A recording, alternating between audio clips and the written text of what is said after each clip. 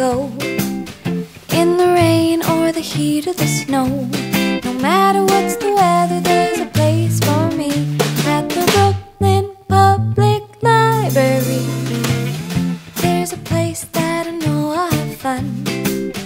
Pick a book, but I can't stop at one.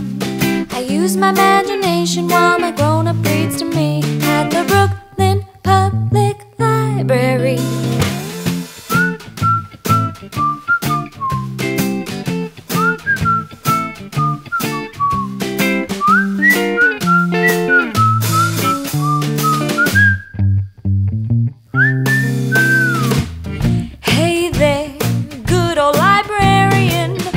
So nice to see you here again. Give me a story of a wizard or a pig, or a legend of a giant so incredibly big, or a dragon who loved tacos, or a pigeon on a bus, or a bear who wants his hat back, or some people just like us.